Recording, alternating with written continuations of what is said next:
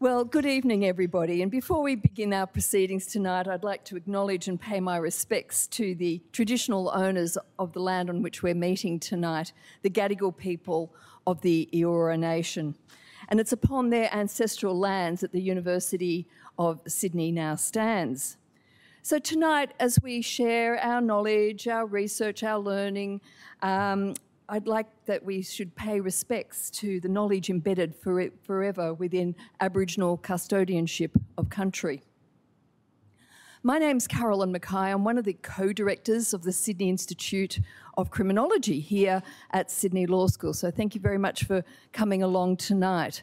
Uh, just to give you a bit of an outline of what we'll be doing, we'll be having um, our panel discussion, um, and then we will have some time for some uh, Q&A with you as well towards the end of the session, of the end of the panel discussion. So do think about any questions you might like to ask. Um, the event is being recorded, so uh, the cameras are primarily aiming at us, but just be aware if you do ask a question that your voice will be heard on the recording, uh, but there should not actually be any capturing of your, uh, your face or anything like that. So just be aware though that we will have a recording of the event. Um, so I just wanted to give a little bit of uh, background to the event tonight. Tonight we're looking at criminalising children and should we be raising the age of criminal responsibility? A really uh, in interesting uh, recent prompt for this is the fact that the Northern Territory has become the first Australian jurisdiction to raise a minimum age of criminal responsibility from 10 to 12 years old. Uh, Victoria also proposes to raise the um, age to 12 by the end of 2024 and possibly then to 14 by 2027. The ACT is also looking at raising the age to uh, 12 quite soon and then possibly to 14 by 2025. On top of that, we can also look at the United Nations Committee on the Rights of the Child that says that 14 is the minimum age that any child should be charged with a criminal offence. However, in New South Wales, the minimum age remains 10, which is one of the lowest minimum ages of criminal responsibility in the world. So while a child under the age of 10 cannot be convicted of a criminal offence in New South Wales, a child, and we, we also have this notion of a child between the age of 10 and 14 is presumed to be doli incapax, that is, incapable of um, bearing criminal responsibility. Nevertheless, that, that presumption can be rebutted by the prosecution on evidence for children uh, between that age of 10 and 14. But the question really is is the age of 10 too young to criminalise any child? And what harms accrue to incarcerated children? I don't particularly look at this um, particular topic in my own research, but I'm doing other research at the moment affiliated uh, with this, uh, with criminal justice. And uh, recently I was up in the Northern Territory and speaking to a youth justice worker who was talking to me about very young children being criminalised in the Northern Territory from the age of 10. Now, that is uh, as I've mentioned before, is changing, but she talked about some of the harms that accrue to these very young children. And she talks about the trauma that's inflicted on them, and she talked about the trauma of actually being held in Don Dale Detention Centre, which I'm sure most of you are familiar with. And she described it as a horrible, horrible, horrible place, a very unsafe place. Um, so I just sort of wanted to mention that by way of background. I also just want to mention that tonight's event has been somewhat prompted by a special issue of our journal. We, the Sydney Institute of Criminology has a journal called Current Issues in Criminal Justice, and we have a forthcoming special issue um, that is focusing on the ra raising the age of criminal responsibility. It's going to be published in the new year. Uh, the editors, uh, the guest editors rather for that, are Jacqueline Allen and Jason Payne, both from Griffin, uh, sorry, Griffith Criminology Institute. And that's going to be um, uh, very much looking at various issues to do with raising the age of criminal responsibility. So do look out for that if you're interested in reading some uh, more about that. And indeed, I believe that one of our panellists, Crystal Lockwood, is um, contributing to that special issue. Anyway, It now gives me great pleasure to introduce uh, the panel tonight. So, first of all, we have our chairperson, who is Professor Megan Williams. Uh, Megan is a Wiradjuri through parental, uh, sorry, paternal family and has worked for over two decades advocating for the use of Aboriginal and Torres Strait Islander people's expertise in health service design and evaluation, research, ethics, and university curriculum. Megan is a principal of Yulang Indigenous Evaluation, and she's also worked for many years, I believe about um, three decades uh, in the tertiary sector, most recently at UTS. So, uh, Megan will be our chairperson tonight. I'd now like to introduce our panelists as well. So, perhaps starting from right next to me, we have Professor Thomas Crofts, who holds a joint appointment in the School of Law and Department of Social and Behavioural Sciences at City University of Hong Kong. He was formerly a professor of criminal law here at the University of uh, Sydney Law School and was also a former director of the Sydney Institute of Criminology. His research has a particular focus on the criminalisation and criminal responsibility of children, as well as comparative criminal law and criminal law reform interests. Um, Next to Thomas, we have Dr. Crystal Lockwood, who is a lecturer from Griffith Criminology Institute based at Griffith University. Crystal is uh, Gumbaynggirr and Dunghutti and grew up in Armidale, New South Wales.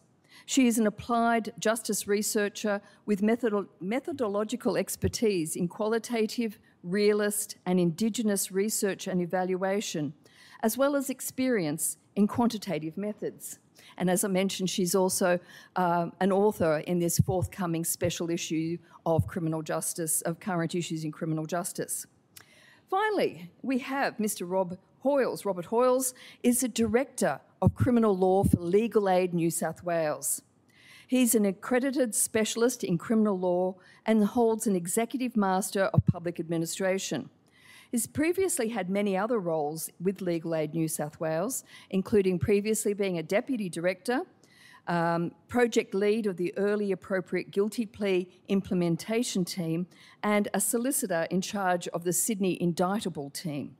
Please join me in welcoming our chairperson and our panellists tonight.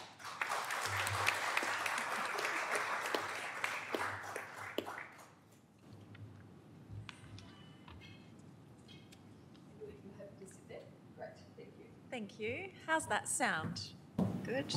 Thanks so much, Carolyn. And yeah, thank you to the panelists for joining us. Um, we're going to just introduce ourselves a little bit more and discuss for about five minutes each um, some of our um, what we bring to the table today. And starting with myself, thank you. And um, and then we'll have some time uh, for some questions to be posed within our table and then from um, yourselves as well.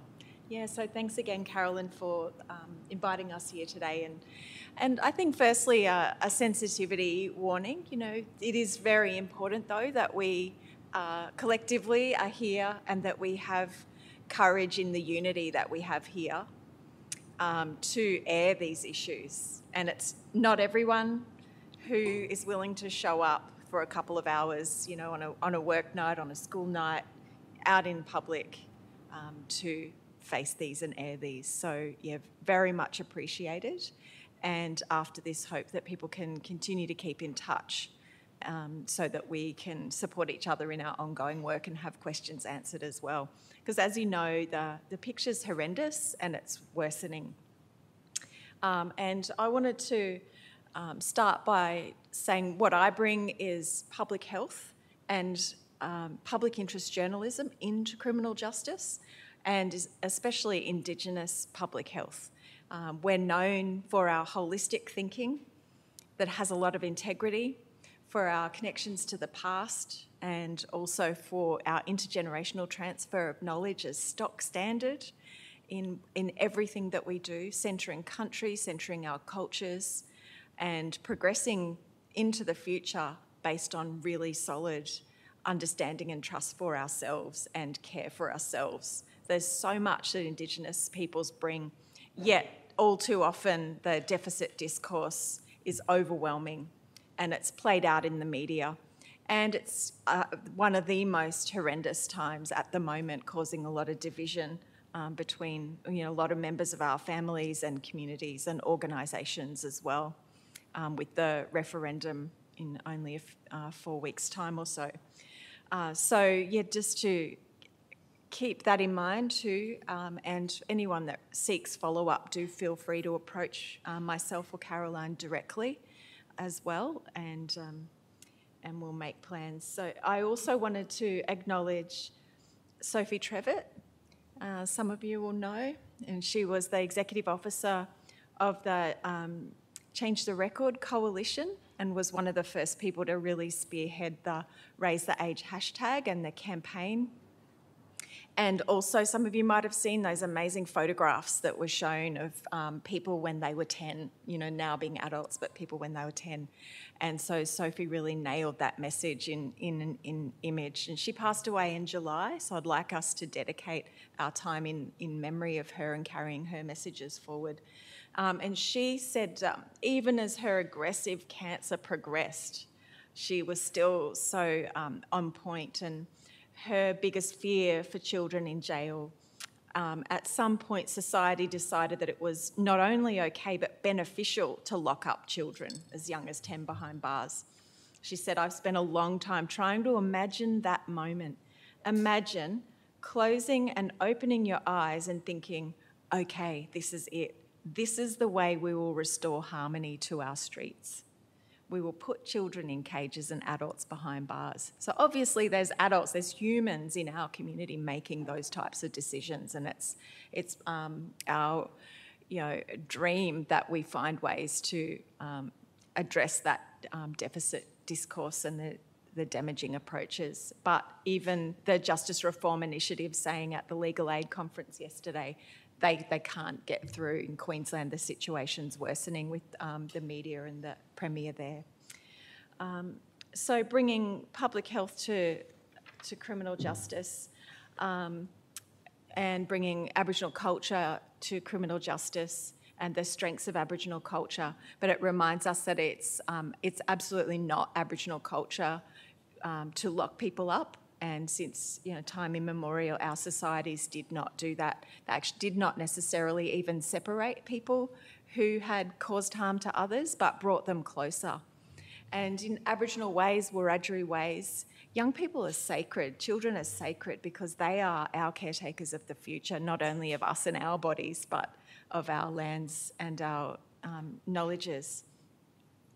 And so, about that label youth offender, yeah, I reject that. And bringing public health thinking to this, we see upstream, midstream, and downstream determinants of um, individuals' actions and systems. And we know that there are solutions and there are good um, economic solutions. That one silver bullet is the multi level thinking, the socio ecological thinking, or the holistic thinking meaning we need action at individual, family, community, services, and system levels simultaneously, and evidence at each of those levels for what works, and evaluation, as well as transferring that knowledge for the next generations to continue um, the work. Uh, one way that I'm contributing and um, continuing work from um, over 15 years worth of relationships in, in Queensland. Um, the pilot of the Indigenous mental health intervention project, horrendous name, um, unfortunate. And um, in, in Brisbane with adults, um, piloted in 2014 based on um, a range of Aboriginal led research. And that model became business as usual to the point that um, the Department of um, Community Justice and Corrections and Health asked for similar work for young people in Brisbane Youth Detention and Cleveland Youth Detention. So a group of us got a Medical Research Futures Fund grant, um, and we've. I want to read out some quotes of um, some in-depth interviewing that's been done with young people in detention there. I just also wanted to reflect that um, those young people, as young as 10, um, some of the younger ones, the data shows that they're more isolated and in, locked up longer than some of the older ones. So they say, um, What was going on for you before you came here? And here's a few quotes I was in child safety. Child safety kicked me out. I was using a lot of subby and Xanax and chroming. I was doing crime with my mates. I was stealing cars. I was living on the streets. Some really bad things happened to me. So, voices of different young people. And they say about alcohol and drugs, yep, um, a lot of Yandi and ice, but helping deal with trauma and problems, and um, drinking on certain occasions, but Yandi helps keep me calm. Some other things they said about help or support that they would like. They want to live, I want to live with my family. I want help to learn to do everyday things. I want to get a trade. I want a good place to live. I want to talk about my problems with someone I trust. I want to play footy. I want to keep learning to read and write and do maths. I want to live with my mum. So, just to bring those children and young people into this room, and Indigenous young people well overrepresented, uh, and obviously locked up so they can't be here to speak for themselves um, at this event tonight. So I might pass over to you, Robert, shall we? Hard act to follow, can I just say? That was very moving, thanks for that. Um, I want to start by acknowledging the traditional owners of the land on which we meet today and pay my respects to their elders past and present. And I want to say that National Legal Aid has spoken out in support of raising the age of criminal responsibility to 14, um, of which I'm very proud. But ultimately, what I say tonight is going to be my voice, not the voice of Legal Aid, and I just want to make that clear to everyone here. What I bring is, I guess, the experience and perspective of a criminal lawyer, and I'd like to acknowledge um, some of my colleagues in the audience today, um, all of whom do the very, very challenging job of representing vulnerable people in custody every day. I have represented young people as young as 11 who have committed serious criminal offences. Um, our Children's Legal Service at Legal Aid is a legal organisation committed to representing some of the most vulnerable people in our community. And what we know about those young people, some as young as 11, is that they are unlikely to understand the impact of their actions or have the required maturity necessary to properly attach criminal responsibility. We know from the research that they have immature brain development, they don't have the necessary cognitive function, and they're often impacted by complex and cumulative trauma we know that kids in the criminal justice system, particularly those very young kids, have higher rates of childhood neglect and trauma, have higher rates of abuse, are susceptible to the effects of fetal alcohol syndrome and its impacts, have drug and alcohol exposure, are often from out of home care, and are involved in the child protection system, what we know in the business as crossover kids who bounce in and out of both systems or they have a disability. We know that there's a significant overrepresentation of First Nations people. But most significantly, in some ways, we know that the early contact of people with the criminal justice system, in most cases, ensures an entryway to what can be a lifetime of crime. In fact, the research suggests 85% of kids aged 10 to 14 who enter supervision return to supervision between the ages of 15 and 17, 85%. So, what we do know right now is unfortunately, what we have in place is not a very effective way of changing the behaviour of young children. And I agree with a lot of what you said in terms of the response. We need a whole scale system response. Um, we know that locking up kids is incredibly expensive. And so, for every kid you don't lock up, there is real scope to reinvest the money in other places. It costs about $3,500 a day in the Northern Territory. It costs somewhere between $500,000 to $700,000 a year for every child we lock up. What we need to think about is what the alternative could be. And that whole scale system response needs to be educational, it needs to be medical, it needs to be psychological, it needs to be social, and it needs to be cultural. I'm just going to leave you with this thought. One of my colleagues up in Coffs Harbour and I were doing the children's court listing in Coffs Harbour one day, and she was trying to get this 13 year old bail and released from custody. And he said, Not today, miss.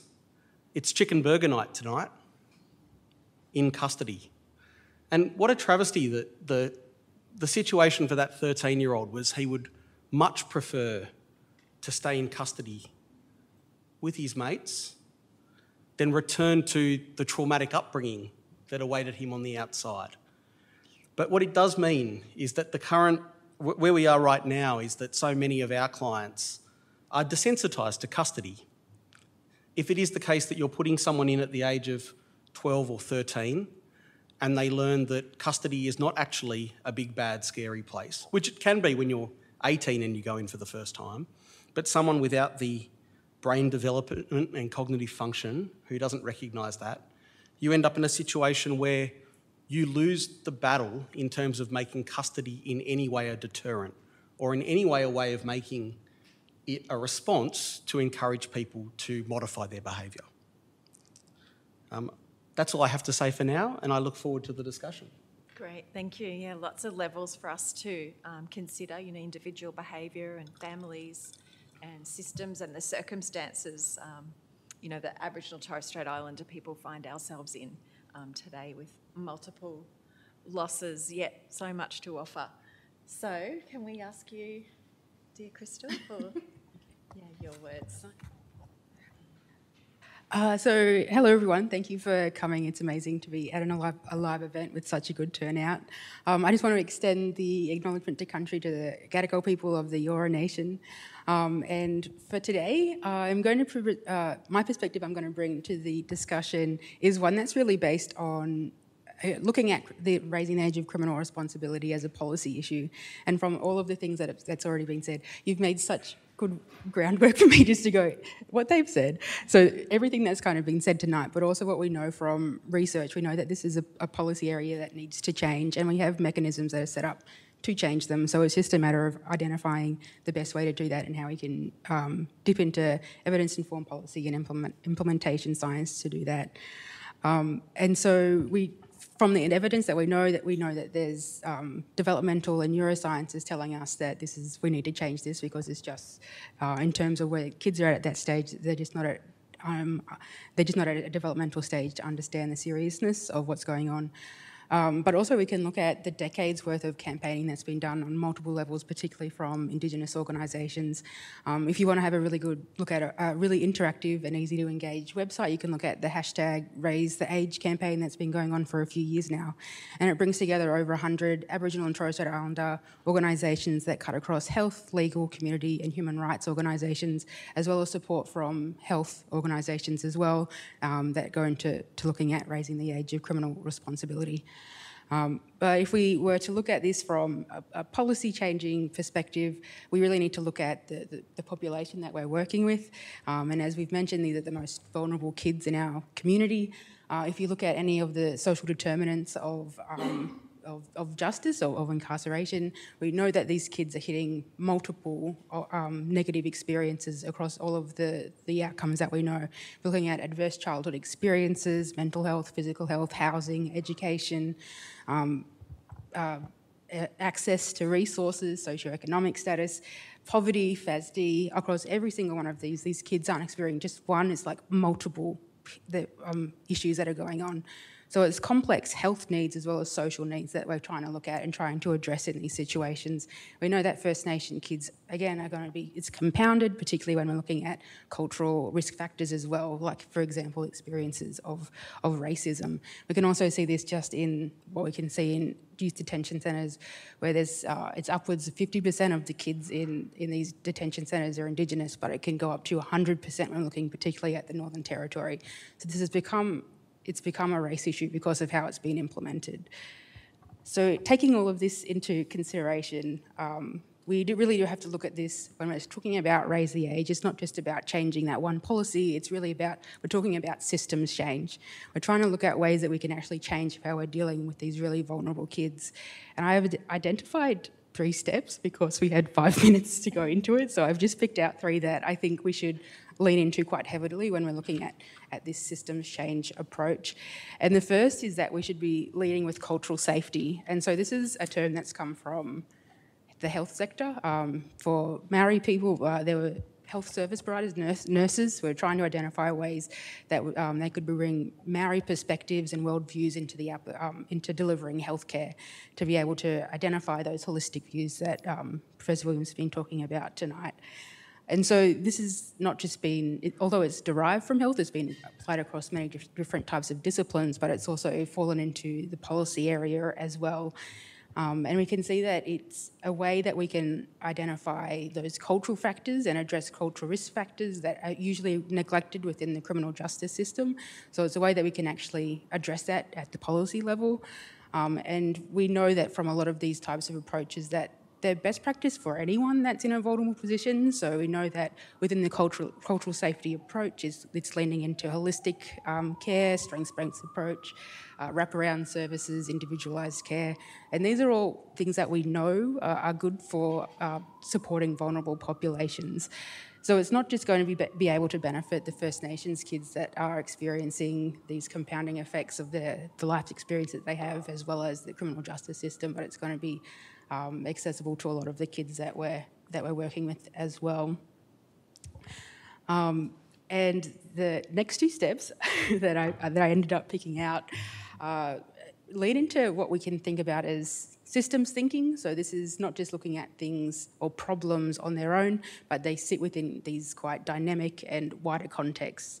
Um, and so when we're thinking about ways to address these, raising the age, we've got to think of it within all of the systems that have been pointed out within, um, within the speeches that we've seen tonight. Um, and I'm also going to be leading into um, upstream and downstream that you mentioned. Again, a term that's been heavily applied within health. Uh, but in this case, um, I, we really need to strengthen our upstream strategies or policies. Within the criminal justice system, this usually leans into crime prevention. Um, and so we can cut across the, what one way we can describe this is through primary intervention. So this is community-based, applicable to everyone. So access to mental health care for, for children. Uh, then we can go into secondary, so that's targeted towards high-risk kids, but also high-risk communities, um, and making sure that there's access to the appropriate services that they need, but also tertiary as for people who are already um, within the system. And we know that the criminal justice system usually focuses on tertiary. We're not so good at strengthening our primary and secondary um, strategies and, and, policies. So it's important that we strengthen that, particularly when we're thinking of kids that are so young. Um, so again, this leans into those terms that I've already mentioned. So having those trauma-based types of approaches, strength-based, culturally grounded and holistic approaches. And the Raise the Age website has a really good map that kind of sets out a lot of really good programs that you can go and have a look at. But we also have a lot of really good programs that are already established in Australia. So there's examples like um, Backtrackers, which is a, a regional a, a, program set up in regional New South Wales to support at-risk kids. We have ones that target specific types of um, children that have offended. So at Griffith University, we have GIFS, which is the, um, the Griffith Youth Forensic Services, which supports children who have sexually offended. Um, we have some really good on-country residential programs. So at the moment, um, we've got Marlamanu in Western Australia supporting remote kids in the Kimberley region. Um, and another example is the Bunjil um, Wara, which is a residential um, youth and alcohol drug and healing service set up in Victoria. And there's just, they're amazing programs. They provide that wraparound service and strengths-based approach, which we can, we can lean into when we're looking at alternatives when we're in this space. Um, and finally, the, the, third step I wanted to point out was that the downstream of, of, criminal justice policies and strategies, and that's the criminal justice policies themselves. Um, and what we know from quite extensive research, a lot from the US, but we can, we're also picking up a few in Australia as well, is that it's not actually crime rates that are driving what uh, the number of kids that are in um, detention centres or adults in, in, in prisons. It's actually the criminal justice policies themselves that are driving this. Um, and we have a really good example at the moment in, in Queensland. Um, I'm a, about to criticise some of the policies, so uh, that, uh, at the moment you can kind of follow the case study within Queensland. Um, but just from this year, we can see that they released a, a brief that kind of said rates of, of youth crime are down. Despite that, they kind of brought in a number of policies that have driven up the, the number of kids that are in prison. So they brought in a, a breach of bail for, for crimes of kid, for, for kids, ended up suspending the Human Rights Act to be able to bring that in. So that's also driven up the number of kids that are in youth detention centres, including in watch houses.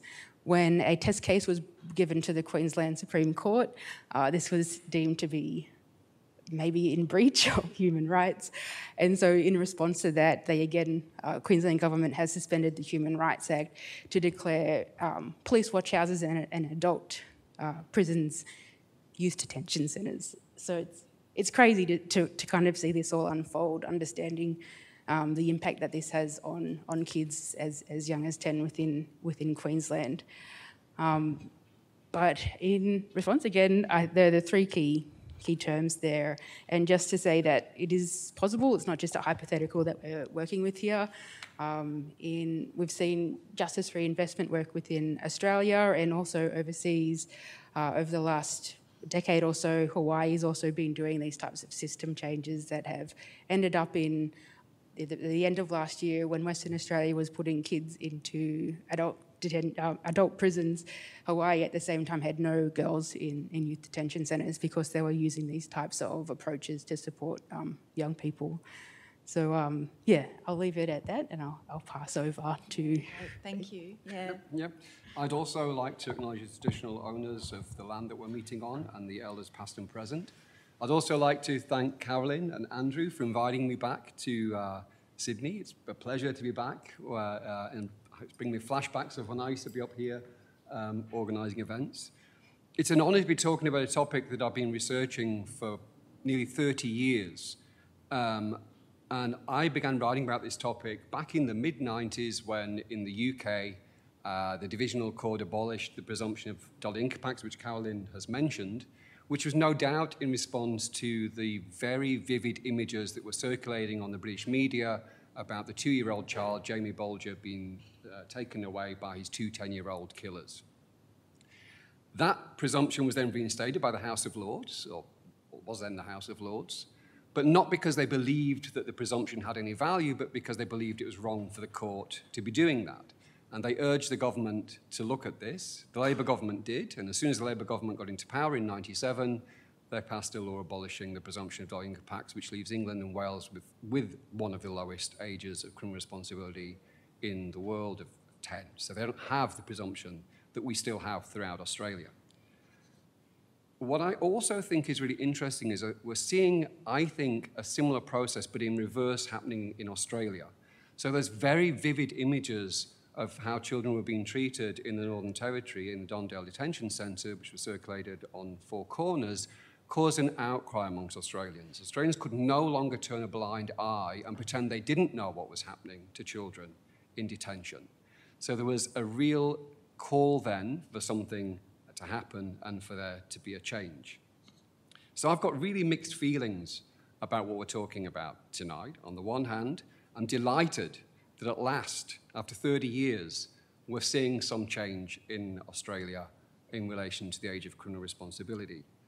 I'm also feeling incredibly jaded that it's taken this long for governments to listen to all the evidence, as, as my uh, uh, co panelists have, have spoken about. There is an overwhelming amount of evidence about why children should not be in the criminal uh, justice system and do not have the capacities that are required to be held criminally responsible. All that has indicated to me that this is not just a question of normative legal capacity, but a socio political question about how a country wants to deal with its young people who get into trouble with the law. Um, and I suspect that part of this problem, it's something that I got asked many years ago at a conference, a similar event to this that was held at the Newcastle University in, uh, in the UK. And a, uh, a colleague said to me, do we argue as legal academics or criminological academic, do we argue for what we think is the right age of criminal responsibility and that we can justify? Or do we go with what's practically possible? And I think for a long time, we've all been going with what's practically possible. And that's why I feel a little, as I said, I feel a little bit disappointed that we're seeing states and co-territories pushing for 12 and oh yeah, maybe later on 14. So I just want to say here that my position is similar to the position that the United Nations minimum uh, standard rules for the administration of juvenile justice say, and that there's a close connection between civic rights and responsibilities and criminal responsibility. If we don't think children should have civic rights and responsibilities, then we shouldn't be making them criminally responsible. And I'll end on this one. If a child can't buy a hamster on their own, then they shouldn't be in the criminal justice system. Thanks. Fantastic. Well, thank you, everyone. And um, yeah, many common threads between us. And then, as you can see, um, great differences and expertise. So we've got a little bit of scope, and we've got about 20 minutes or so. And I mean, I think one of the, you know, uh, we've got all the solutions here, um, and then also a compelling point that you've left us on, Thomas. And I think it'd be great to explore that a little bit more. So, with these states um, potentially or poised to increase to 12, should doli incapax be retained for 12 to 14? Yeah, I actually, um, I think it should actually be increased to, to 16 or 18. So I think that, uh, you know, there's, we can, we've heard some of the evidence already. We can talk about that a lot more, but there is clear evidence children do not have the capacity I mean, criminal responsibility is based on the whole idea that you aren't criminally responsible unless you can freely choose to do something that you know you shouldn't be doing. There's much evidence that suggests that children do not have that ability, and much evidence is coming from neuroscience until actually adulthood. And in fact, it might be in our 20s. Um, so I think there's, a, there's strong evidence to suggest that we should be at least providing a presumption that children under the age of 16 or 18, perhaps, are not capable of being criminally responsible unless there is clear evidence that they do have those capacities. Mm. And does that reflect your experience in reality? Yeah, I, I, definitely think that if the age is 12, that doli incapax should exist until at least 14 in the same way as it currently does. I think one of the things about doli incapax is consideration should be given perhaps to how it could be tweaked. One of the challenges at the moment is that in a criminal process, doli incapax is argued at a defended hearing, often at the very end of the process. So even if, even though there is this presumption and the prosecution needs to prove beyond a reasonable doubt that the child knew that what they were doing was seriously wrong as opposed to merely naughty, it actually requires that kid to be detained, charged, often spend overnight in custody, and go through the entire process until a defended hearing often um, or nearing a defended hearing, at which stage the charges are sometimes withdrawn by the prosecution, or there's a legal argument and the kid might be found to be not guilty because of doli incapax. So, one thing that I think would be interesting is for there to be some consideration at least to whether there is a way to assess doli incapax earlier in the process rather than waiting until the very end, because so much of the trauma and damage that we're talking about um, might already be occasioned in the current system, even if doli incapax was retained in its current in its current way. Excellent. Just, yeah. just to follow on sure. from that, I think that there is a lot of research that also shows the. I mean, the UN Committee on the Rights of the Child are not in favour of this because they say it leads to uh, sort of. Uh, it leads to unfair results, and there's no, you know, there's a lot of problems with how this operates in practice. And as you've said, I think a, a major problem is there's research, I think there's some research by Kate Fitzgibbons and um, uh, Brian down in, uh, Mel, uh, in Melbourne that shows that often this is treated as a defense rather than part of the prosecution case. And so it's been reversed in practice. Uh, so there are a lot of issues, I agree with you, a lot of issues with the way it works in practice that can be ironed out.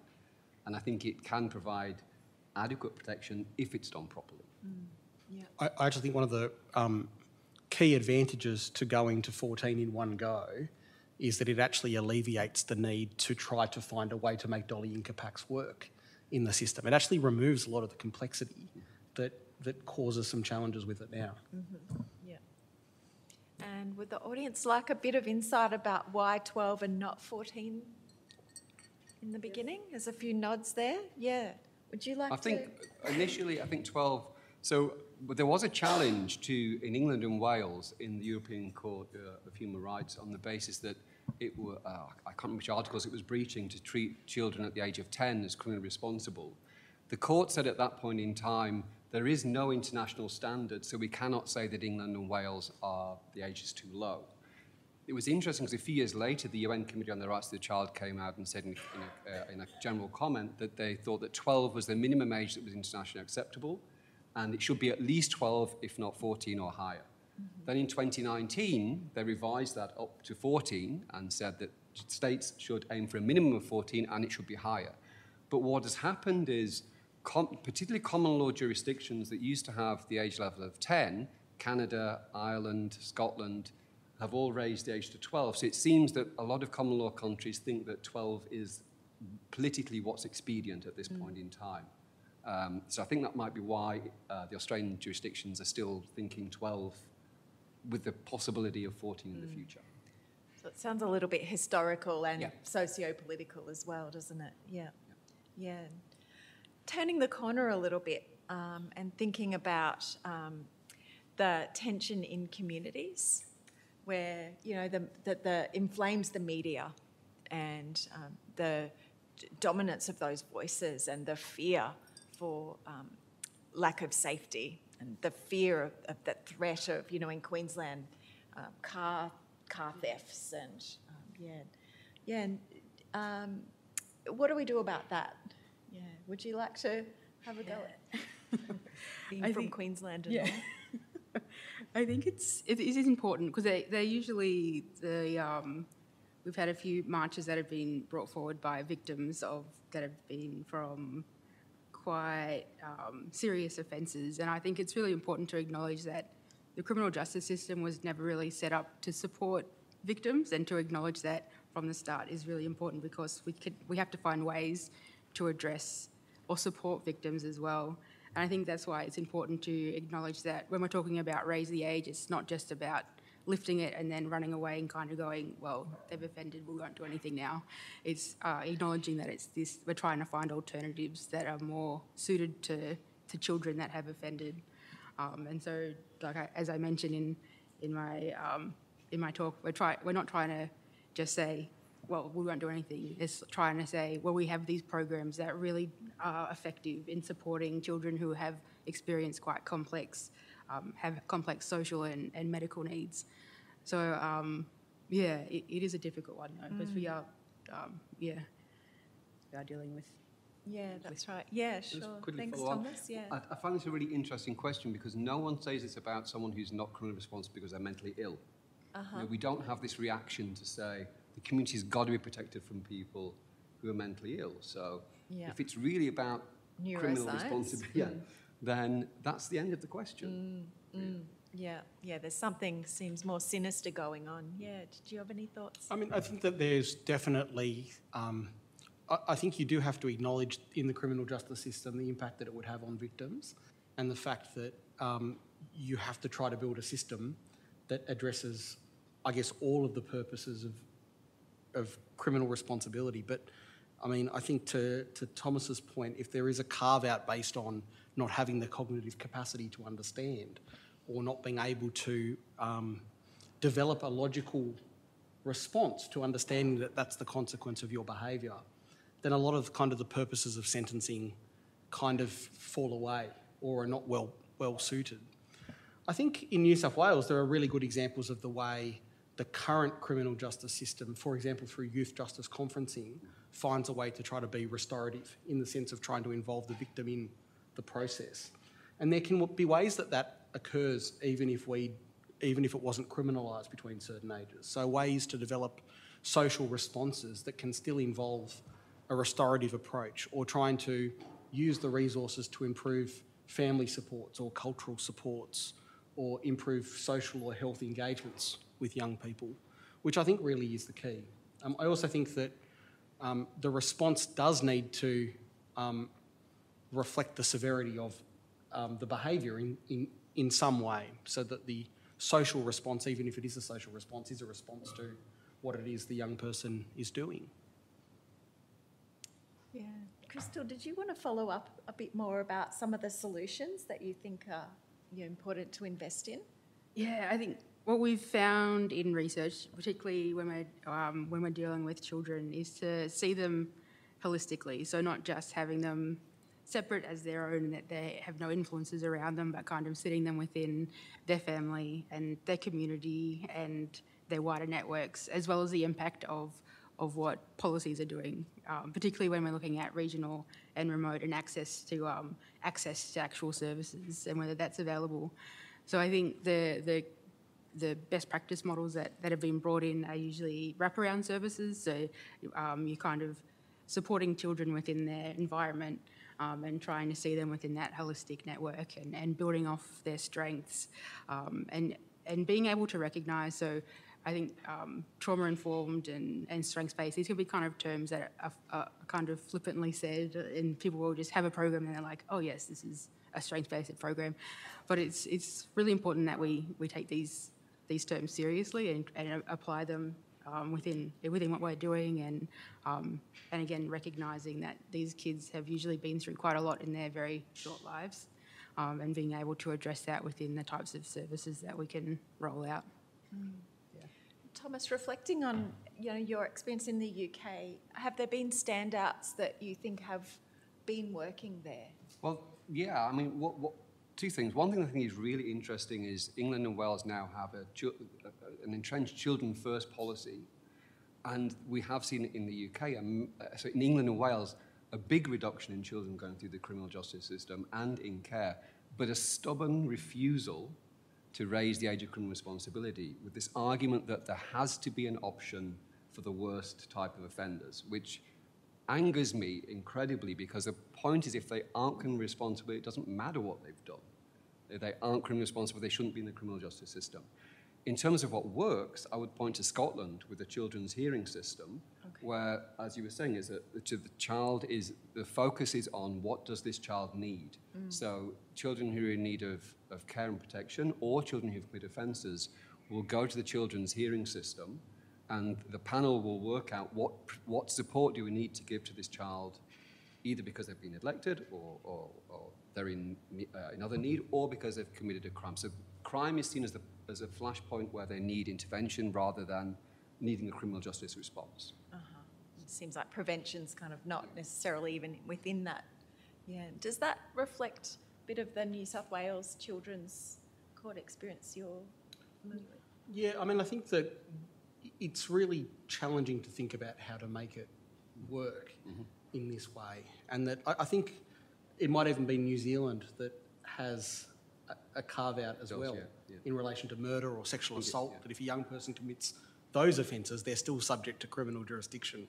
Um, and obviously, I mean, as I said before, I do think the more serious the um, the nature of the behaviour, the more serious the response needs to be. But um, whether it's crimi- a criminal response or not, I guess that's the the ultimate debate. I know that in the Northern Territory, where they're rolling this out f- to 12, they've also created a program called the On the Right Track program, which is about re engaging family and culture and community um, at the same time. And that's going to be evaluated in 2025. And I think it's really, going to be really interesting to see whether or not that has had the gains that you would hope it would have. Because, in a way, I think that's the closest thing to an Australian example of where we're building that. Mm, yeah. Just makes me think probably about, you know, hopefully the evaluators are Aboriginal, it's Aboriginal led there's assessments that are designed by Aboriginal people for the almost 100% of Aboriginal um, you know, young people in the detention and the families as well. It's absolutely not a given, even though we've got ethics um, guidelines that try to shape research, but it takes ethics committees' skills as well to sniff out research that doesn't authentically meet those guidelines. So there's, you know, a lot of concerns about the evidence base um, as well. But I digress. I wanted to just pick up a little bit about exemptions. You know, would, would you mind if we talked a bit about this very hard topic of, you know, are there crimes that should be exempt? No. No. The simple answer is no. Okay. It's, because that is not about criminal responsibility. you know, the, the question is, should be, can this child understand that what they've done is wrong? And could they control, what we don't actually generally ask in Australia or England, and could they control their behaviour according to that understanding, which is what criminal responsibility requires, and it is the requirement in civil countries like Germany, for example. And, and to me, the question is, it doesn't matter what offence they've committed, do they have that understanding or don't they? Because if they don't, they shouldn't be in the criminal justice system. And I, I understand that with more serious offences, um, the, the, the sort of public reaction is more severe, but, but we have to go, we have to cut back to what is the core issue. And the core issue is, does that child have the understand, the ability to understand that what they, that they shouldn't have done what they did? And, and if, if they didn't, Uh-huh. then that's the end of the, que- for me, that's the end of the matter. Yeah. And can you tell us anything a little bit about how that's assessed in practice? Yeah, so uh, it's interesting because South Africa, when they recently, uh, or quite a few years ago now, reformed the age of criminal responsibility, they have a requirement um, that the child, so, so for this, we're talking really about the presumption of adult incapacity now. So if a child's over the, over the minimum age, they have a requirement that the child gets assessed by um, a psychiatrist, a psychologist or a psychiatrist to determine whether the child had the capacity. So some jurisdictions do have a, a requirement. South Africa's having a bit of a problem because they're saying we don't have the facilities in place to, to do all these assessments that are necessary, so it can prolong proceedings. But there are other things that you can look at. You can get evidence from schools or from, uh, you know, from people who know the child well. There's, there's lots of things that can be looked at to determine whether a child does have that um, ability. And hopefully the involvement of, say, Aboriginal, Torres Strait Yes. Islander elders or people of that culture yeah, are required as well, yeah. Was there anything you wanted to add to that? Not particularly. I mean, I, I- think that it's it's one of those things where I, I was just going to add earlier when you were talking about the mental health aspect that um, even if decriminalised, there might be certain offences where it's picked up in terms of the way the mental health system deals with, for example, individuals who are causing risk to the community. In the sense that it's not necessarily the case that just because you decriminalise it, that someone who is mentally very unwell and potentially going around causing really serious injury to people are um, left to their own devices. Oh, no, they need a response. The question is whether it comes from the criminal justice system or social services. That's what I'm saying. I'm, uh, sorry, I'm not denying that someone who's committed a serious crime might need something to happen with them. It just should not be in the criminal justice system if they aren't criminally responsible. Yeah. Yeah, I can, uh-huh. yeah, I can see some nods around, and I'm, I'm sure people have got some questions to ask. Um, but another sort of tricky one too is should reform come before raising the age? No. Uh-huh. It's great to get that clarity. um, um, but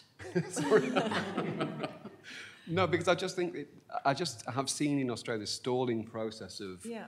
you know, the, the uh, I can't remember what it's called now, the, the COAG, the Coalition of Attorney Generals, who, who I think it was, it's quite a few years ago now, met to, do, to have a, they wanted national action on this. And then they came back and said, oh, we've promised within a year we'll have a report recommending an increase in the age of criminal responsibility. They came back and said, oh, no, we need to investigate alternatives first. What will we do if we raise the age of criminal responsibility? This is the wrong way round. If children aren't able to understand that what they've done is wrong, they shouldn't be in that system. Work that out afterwards. It'll give you an impetus to work it out. Mm. But the fact that we just keep stalling and all these children have been brought into the system, their lives have been ruined because governments are saying we need more time to work out what to do. They'd soon work out what to do if those children couldn't be dealt with in the criminal justice that's system. right. Meanwhile, it seems like things have worsened Yes. in that time, actually. And I think we have a lot of. I, I, I think that um, we just have so many good programs that are happening in Australia that the evidence base is kind of there now. We don't need to try to identify alternatives. The alternatives are just set up. They just need to be supported properly. Yeah. Yeah. I think a number of things obviously hold that back, and I, I know in my experience the type of evidence is is heavily critiqued by governments too. Um, that we haven't had randomised control trials, or we haven't got gold standard research, or the research is ageing, or it's only among this population, and the uh, feasibility study for transferability wasn't done to that population, or governments change and the um, the churn of the uh, workforce in governments, um, you know, largely a non-Indigenous workforce too, working on issues about First Peoples um, without that experience of and uh, working definition of cultural safety, for example. Yes, there's a number of factors there, even within reform, Yeah. Let alone. And so you you separate those two things quite clearly as Yeah. well, which I think is you know very wise and a take home as well. That raising the age arguably isn't a reform of the criminal justice system or youth justice system. And I think partly for me it comes from feeling for too long argue, arguing, uh, you know, Yeah.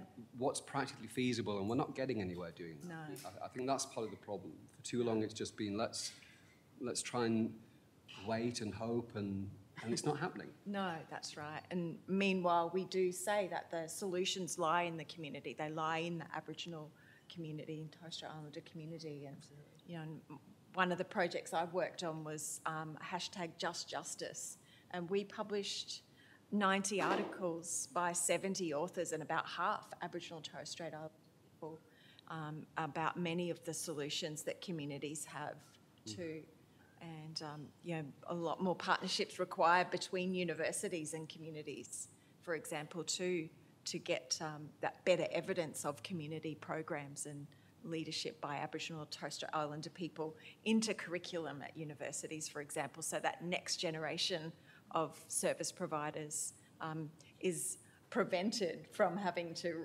do these retrospective um, sort of fits that we are now. Yeah, so and so I wanted to re- sort of you're at a community-based, um, you're very community-based in your work, yeah, and um, you know any reflections you've got on what you've seen work the, the, the best for whole families or individuals.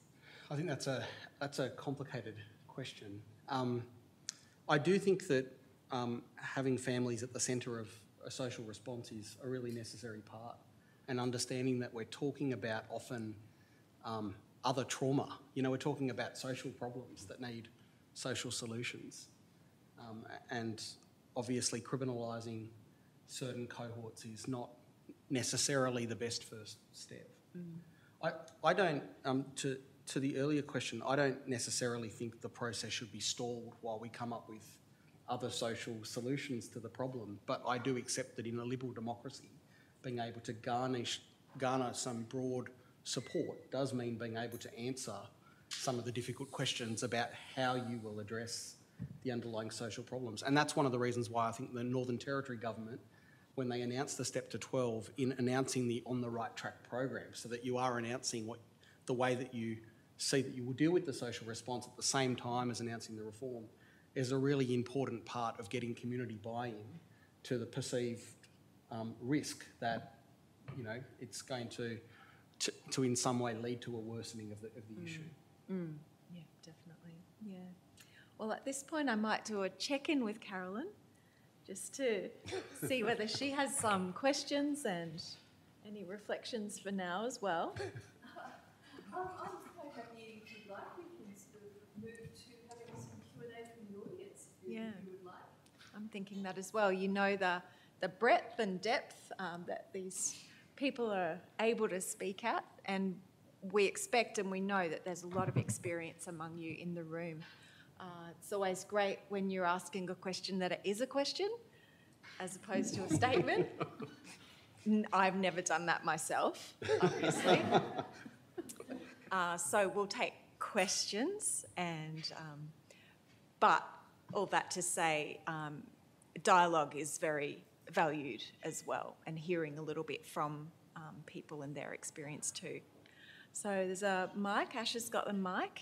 Did we have a first nominee for a question asker? well Thank done. you so much. That was really, really interesting conversation. I got a question for all of you or any of you. I'd like to hear your points in regards to if we think back a few, it wasn't not long ago, or it was long ago, depends how you want to look at it, that uh, the minimum age wasn't 10 across all of the states. And that was an issue that was also much criticized by the UN for many reasons. So where we are now, like Thomas said, thanks goodness, after all this time, something's happening. But what is happening as well in regards to not having taken a federal approach where there is a unified decision? And what are we going to see that uh, across different states? So any comments on that would be Yeah, I, I have thought about that quite a lot because it was, it was 2000 with the last two, the ACT and, um, can't remember the other place, that raised the age to 10. Uh, it was 2000, the last two states did that. And before that, there was a period where, you know, the, the, I think there were seven in both those states. Yeah. Um, and we're going to see that, we're going to see differences arising now. So a child could be criminally responsible in one state for committing an offence that they couldn't be criminally responsible for in a different state. I think it's better that we have that than that we just wait around at 10 until all states are, are going to agree on an age level. So I think it's unfortunate, but I think it's a better situation than just waiting for agreement. Mm-hmm. And can I ask, would you like to add anything to that as well? I, I, I think I, I agree. I agree with, with, with that answer. That I, I think it's definitely better that the states that feel willing to move forward do do so, and the states that don't um, have the benefit of the experience of those those states that do, in terms of being able to see how the social response works, being able to tailor their law in response to that as well. Um, it's, there, are, there are any number of social reforms where states have done it at different rates. Um, decriminalising homosexuality being one of them, where some states, uh, you know, abolished it very, very late in the piece, but we're now there where it's decriminalised in every state. Um, so, you know, I think it is the case. It's naturally the case when you're talking about a, a federalised system that if you don't get national agreement, that some states are going to go first. Anything you want to add to that? No, I, I think I just agree. I think it'll be, I think it'll be a bit tricky if we wait. So I think it's just one of the things we have to deal with in how Australia's set up. So, Yeah. but it is a really good, a really good point. as well. Yeah, and great point about other social issues. Yeah, and um, you know, healthcare in prisons or health, I wouldn't call it care, health services, health punitivity in, in prisons, health lack of access in prisons, um, you know, suffers greatly from that same, the same variance and that arguably lack of federal coordination there plays out with great difficulty, you know, and we, we know that healthcare plays into um, this is a determinant, shared determinant of crime and criminal justice system engagement and holding people back from healing and moving on um, with their lives too. So, yeah, it's an issue, like as Crystal said, yeah, it's part of that federation. So, where are we going to go next? Um, next theme. Ooh, hand up down the back. Thank you. Someone's been volunteered to ask a question. we saw that. Thank you so much Thank for you. your insights on this very complex issue. Um, I think I've taught in high schools for 26 years. I spent day in, many days with 10 to 14 year olds. I just have to disagree with the argument that 10 to 14 year olds do not know what is criminally responsible. Um, I think it's uh, quite naive to make a blanket statement that all 10 to 14 year olds do not know what is criminally responsible, uh, having spent uh, time with them uh, in a education context um, over 26 years. Um, also, I think incarceration is a separate issue um, from whether the child is aware that they did what they did was criminally responsible. Uh, that's a sentencing outcome, and I, I didn't hear any research that shows that in Australia the incarceration rates for children has actually decreased um, over the years. Um, but look, to my question, um, the victims of crime, I think, is the issue. Uh, how can, and it's an issue for the whole legal system, how can we balance the uh, needs of the uh, justice needs for victims, offenders, and society? The Bulger case was glossed over, but that was a two year old who was um, abducted and tortured over several hours, and then the two 10 year olds actually crushed his skull. Um, so I guess my question is well, my question is, how can we attend to the needs of the victims because I think if we raise the criminal age, um, it won't address the causes and won't have that, that sense of responsibility, which is missing now. It's actually going to be worse. And I think if we don't get that sense of responsibility first, uh, we're not going to address all these causes that we're talking about. Thank you. Yeah, so good to hear. So, your experience as a teacher in those classrooms for a long time and, um, yeah, bringing to mind victims of crime too. I think we're in agreement that victims of crime play a big role here and also the need for reforms. So we do benefit from someone with that experience Yeah, I mean, it's glossed over only because of lack of time first, of course. Uh, the second point, I agree, detention is a completely separate issue to the issue of criminal responsibility. And this is no disrespect to your experience, but there is a lot of research about how children process information, which suggests that they do not understand in the same way that an adult understands uh, that what they're doing is right or wrong. And I'm not saying that you're doing this, but governments tend to make it a very simple question: is do they know do they know it's right or do they know it's wrong? The whole question is a lot more complicated than that, and their way that they process information is a lot more complicated than that. It requires a lot deeper understanding of social structures.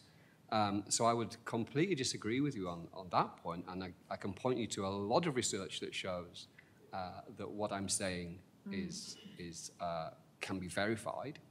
Um, and yeah, with, uh, you're right, with the, with the Jamie Bulger case, the problem was, you know, that was a horrific crime, of course, and, and the public saw lots of images of that, so it was very visceral. About the same time, though, there was a similar crime occurred. I can't remember. It was Norway. Uh, it was a, a Scandinavian country where a, a young child had killed another child in quite sim- I, I I don't know if it's quite similar circumstances, but it was it was a young child that killed another child, and they did not have that public outcry. They did not have a criminal justice response. That child was dealt with within the social services department, and so that you know it, don't- we don't have to respond to childhood offending the way that we do in Australia or in England or New Zealand or, or basically all common law countries. Mm. Thank you. I'm just, go- I'm just going to go. In children who've been taken into the criminal justice system, Ch- children that have been dealt with in the criminal justice system, yes, there is a real problem with recidivism. I'm not sure about that. There's probably a range of data, but I was actually going to ask um, you, you know, in your experience of um the social services response or health and wellbeing response compared to criminal justice system response, and Yeah, I mean, I think one of the things too, I mean, for me, most of my experience has been practicing regionally in New South Wales. One of the challenges we also have is postcode justice. So, what you have available to you here in Sydney in terms of what you can put in place to support is unfortunately not the same everywhere. And that's part of the challenge, whether it's a social problem or in terms of how you deal with the, the psychological, the social, the cultural, the health, the educational response, is that it's hard to provide that in a uniform way. Um, it's one of the nuances that needs to be tackled in relation to this topic is how you provide a, a sufficient social response everywhere. And we're, we're a bit different to the UK in that respect, and we've found this throughout different versions of the criminal justice system, including, for example, how special cautioning works. In the UK, geographically such a tiny country, it's actually much more straightforward to provide social services. I'm not necessarily saying they, they do it, you know, very well, but obviously we are very geographically dispersed. It means that, you know, your, your drive to the nearest hospital could be, you know, several, a couple of hours away um, in- in, parts of New South Wales. And so that is one of the real challenges once you get down to the nitty gritty. The other thing I just wanted to say to the gentleman's question is that um, it's obviously it's a very complex topic with a lot of nuance in it. And one of the things that I find hard is sometimes you can pick the worst example and it's really, really difficult to get the nuance in because, as you can imagine, most 11 year olds that we represent in the children's court are not people who have crushed each other's skulls in. But the risk that the same social response is seen to be required is obviously part of the nuance in this. How do we build a system that responds appropriately to 11 year olds, appropriately to 13 year olds? the way doli incapax works is that it effectively does assess whether or not that particular child does have the capacity to, you know, to find whether something is seriously wrong or not. And the way the current law works in New South Wales through the High Court decision of RP and the Queen is the closer to 14 you are, the more presumption there is that you are capable of understanding in terms of, you know, how the shifting works. But obviously, it's not an easy topic. It's a complicated topic. even our understanding of the word understand mm-hmm. too, and to assess for that in- Yeah. in, a way that sentencing options are presented. It's Yeah. highly complex. That's right, and I, and I also agree with the gentleman that there's a distinction between custody and other responses, and there, there has to be, Yeah. and that is a challenging thing. But the, the ordinary social response, I think we all kind of learn in school, you know, bad people go to jail, and that's the res- social response for people who, who do the wrong thing. But the sophisticated understanding we have of the impacts of jail on people are that we need to think about how, how we design a system that best um, discourages the commission of criminal offending and supports people who have a lot of underlying trauma. Addressing those underlying determinants, you know, poverty, um, connection to community, uh, self-concept, yeah, so much in the prevention. You know, we, we actually, you know, don't see that same amount of money going to prevention that we do to the criminal justice system, for example. Know, yeah, I think there's some nods around there. All right, well, we shall travel over your way and see what, uh, what theme and challenges. Uh, possibly several. Um, hi, I'm Demir. I'm the policy lead at Change the Record, and Sophie was a very good friend of mine. So thank you. For I might add she was a student here as well. I didn't. I didn't say that. Um, so I've got. Um, uh, I'm, I'm wondering.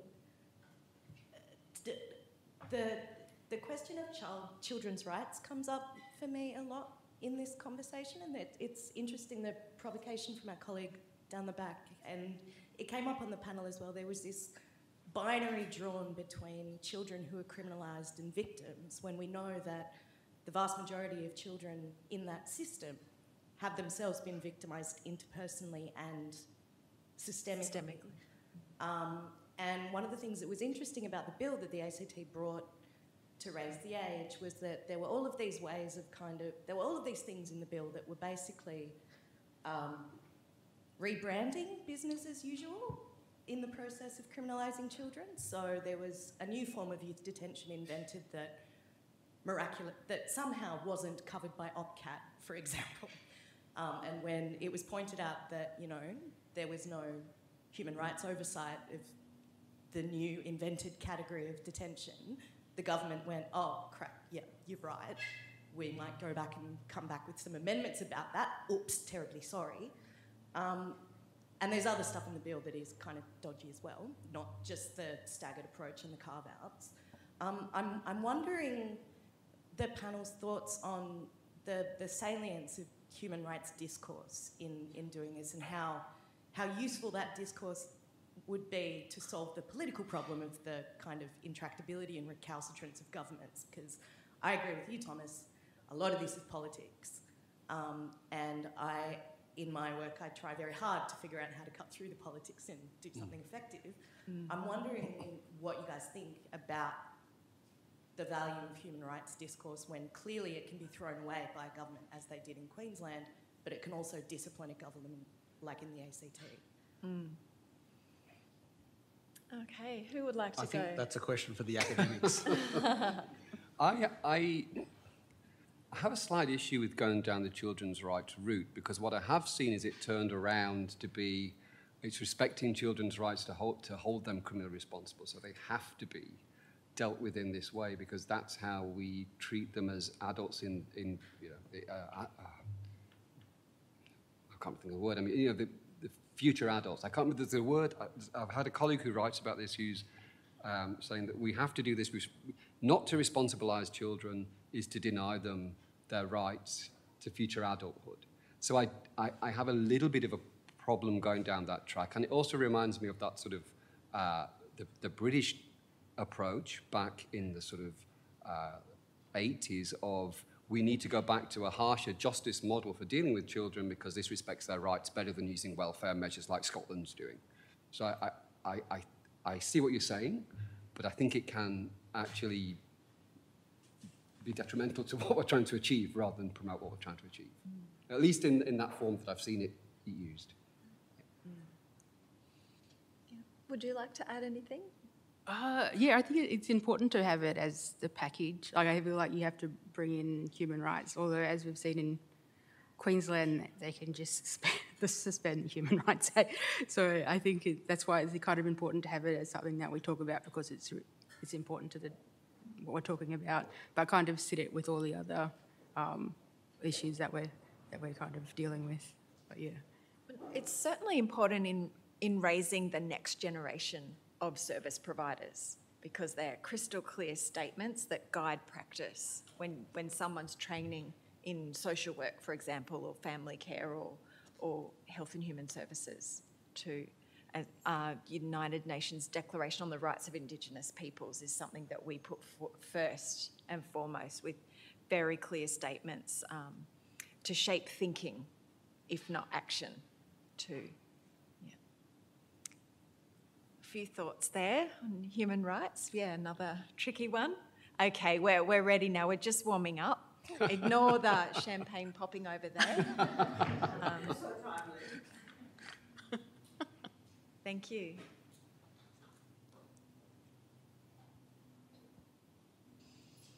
Um, how would you deal with uh, people that have, like, in the Northern Territory, how it's been zoned for now 12 and up to be criminally responsible? How would you deal with those already incarcerated who are 10 and 11 years old?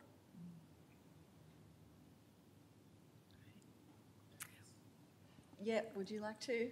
There, there is usually a bit of a lag in, in bringing out policy. We can kind of see this, again, just because I sit in Queensland, I can kind of see that, uh, give it as an example. So Queensland was the last state to bring up the um, age of majority. So we're, putting 17-year-olds into um, adult prisons until about maybe four, three or four years ago. And after talking to a lot of the caseworkers that are sitting in uh, in youth detention centres, they said that they're only now seeing the effects of that. So there is usually a bit of a lag um, between that in how we bring in policy. Um, but yeah, it would be important to kind of um, be able to retrospectively think about how to apply policy in that area as well. Mm. I think too to draw on other levers. Um, you know, we know that there's very high rates of um, of uh, mental health, poor mental health, mental health um, diagnoses, trauma, and post-traumatic stress disorder, and poor so- uh, social um, determinants of health as well. And coming from a public health perspective, um, most people in youth detention could be cared for in the community for the other things that they've got going on for them too. And what we know from other nations are can be cared for effectively in the community too.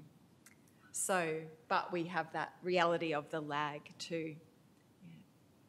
I think it's you know really timely to talk about abolition and the importance of us having abolition on our spectrum of, of what we're able to allow our minds to think about and to update our own software in our own minds and our own interpretations of what abolition might mean. You know, it's often taboo for people to say, I'm an abolitionist or I'm, you know, but people's minds want to go there as much as people's minds want to shut it down as well. I think, you know, in, in respect for the suffering the clear suffering of people in the criminal justice system and in prisons, and young people and children in prisons. You know, out of respect for them, they deserve us to push our thinking about decarceration options, you know, as urgent and as safe and as contributing to community safety by preventing later adult incarceration, for example, that has other costs and for us to think about value in different ways too and cost in different ways. There might be the cost to the public purse, but there's a cost to the individual, to the family across generations. There's a cost to our country when knowledge holders are incarcerated and damage occurs to country and multiple losses for our cultures that have had such histories in this country. So we've got to really be pushing our thinking and yeah, big ups to you for coming asking that question. Well, I think your hand got pushed up there, but was there anything you would like to ask as well um, yourself? Oh, so, well, so the two years and two months apart, right? He's 12, he's 14, so it's like the difference in age level. Um, no, but I mean, in terms of practical terms in the, in the Northern Territory, um, you do end up with this gap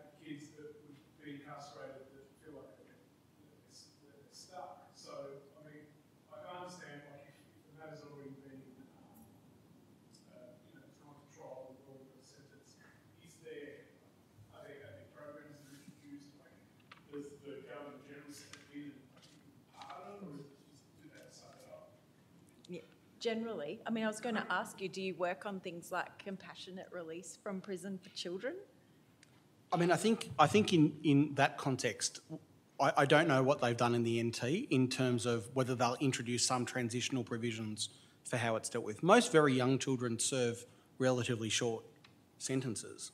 Um, that's not exclusively the case, but what you might find is that it's introduced in a way that means that their sentences lapse rather than necessarily that they're released. They still have a sentence that's been handed down. But I think it's a really, really good question, and it's something that each jurisdiction that brings it in will need to think about is how do you actually transition?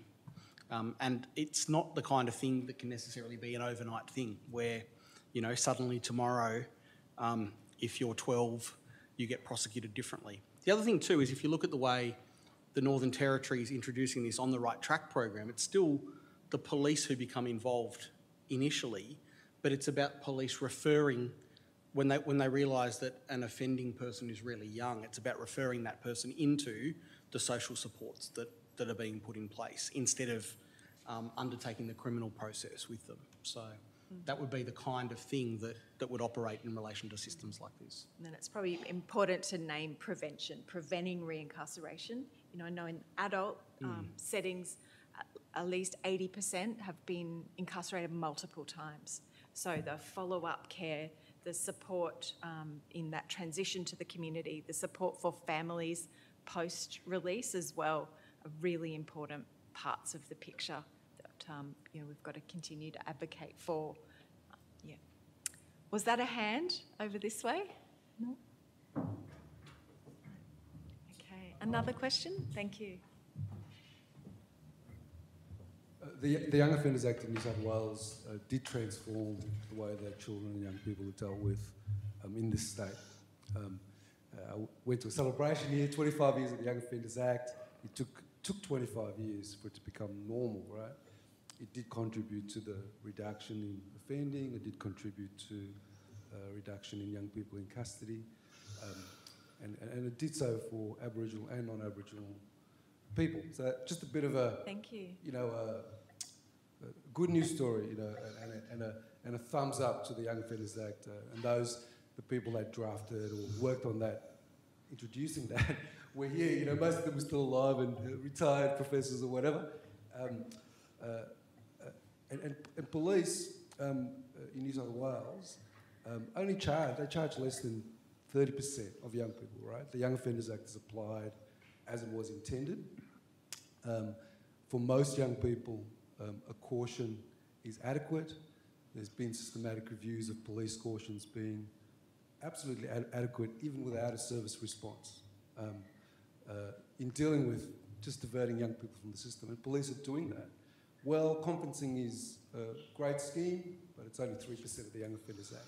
Warnings, cautions, fines, in unofficial diversion is, is that's working, right? Um, uh, so we have had this sort of transformation. Uh, but Megan, you talked about we need an individual, family, systems, and systemic uh, response simultaneously.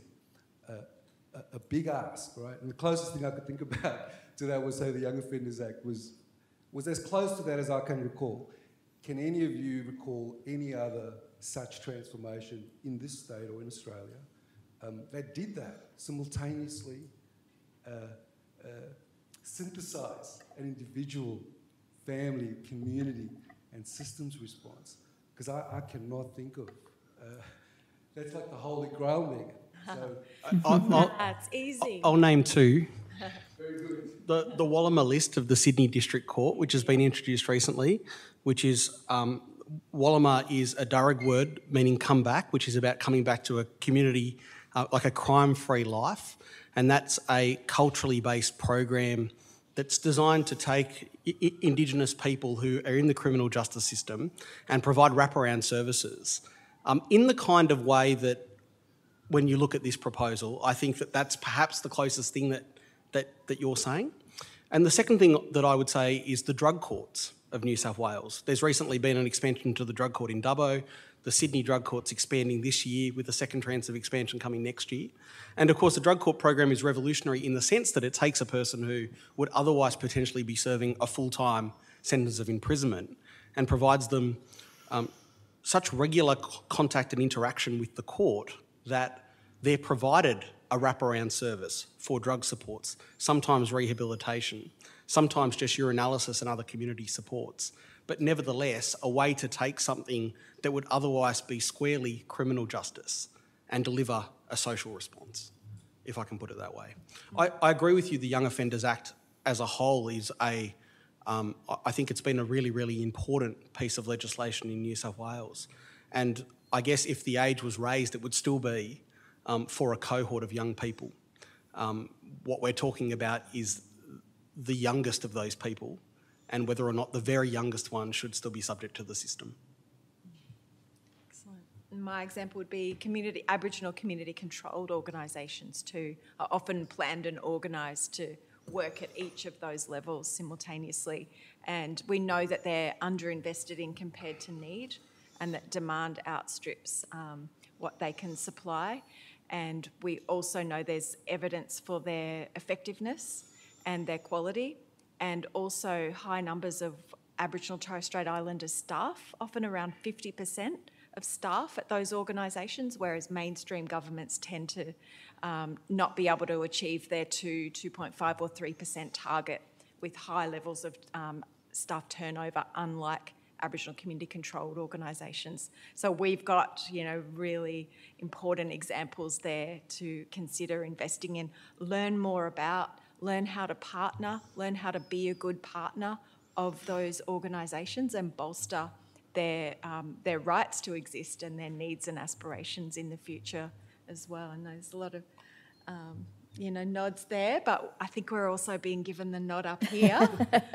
um, but uh, from us, on behalf of us as a panel, to thank people for their questions and um, con- continue the discussion um, during the rest of the evening. Thank you. Thank you so much. That was such a provocative um, discussion, and I think, especially coming to that question of abolition and, and decarceration, I think that's a really interesting way to sort of be um, provoking us further to think about our responses and what sort of community do we want to have in, in, in terms of our responses to children, to young people when they um, are potentially doing behaviour that we uh, treat as transgressive at the very least. I think that just a number of the issues that have come up for me that I was sort of making notes about are just the complexities. The fact that we do know that most of the children aren't committing these horrendous crimes. There's you know a lot of other much minor, um, you know, joyriding, property crimes, those sorts of things. Uh, are these places, such as Don Dale, are they the places where these children should be placed? Are they going to be coming out of these places as better people, or will they be succumbing to the so-called university of crime and coming out as, as um, perhaps more brutalised than they were beforehand. Um, the notion that a lot of these young people have also been victims themselves, I think, is, is really important to consider. The ripple effects of taking children away from their families, from their communities, um, has to be something that has to be considered. Looking at other um, forms of responses in the health system rather than the criminal justice system, looking at diversionary um, programs, I think is really incredibly important. Looking at education, looking at family, looking at community, all of these um, issues that have been brought up uh, by our panelists, I think are very important for us to consider as we look at how we criminalise very young children. Um, I don't know that we've necessarily come up with any hard answers, but I do think that there's been some really great provocations that have been given to all of us to consider uh, in terms of the type of society that we want to have and how we want to treat children and young people. Um, so anyway, I would now like to uh, invite you to thank, uh, thank our panel of Thomas Crofts, Crystal Lockwood, Megan Williams and Robert Hoyles for their insights.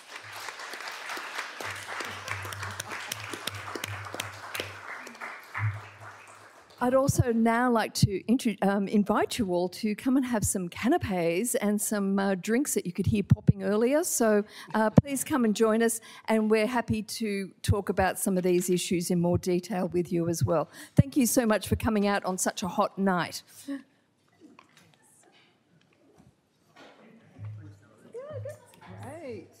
so good. Oh, you know, it's not that I specifically but I'm looking at vulnerable dependents, so it comes up obviously the children. So Yeah, someone did, someone did say the, I don't know, if it's Simon Someone told me you were in that's closely related to. I don't know. I feel like Someone I felt like people. No idea. Yeah, someone. Someone. someone. You see a lot of people. No, really great to insights. Oh, I know, yeah, yeah. It was, it was great. Yeah, yeah, no. Wish we could have had or something like that. Thanks so much. That was great. That's great. No worries. Experience with this family. I mean, not on you, but.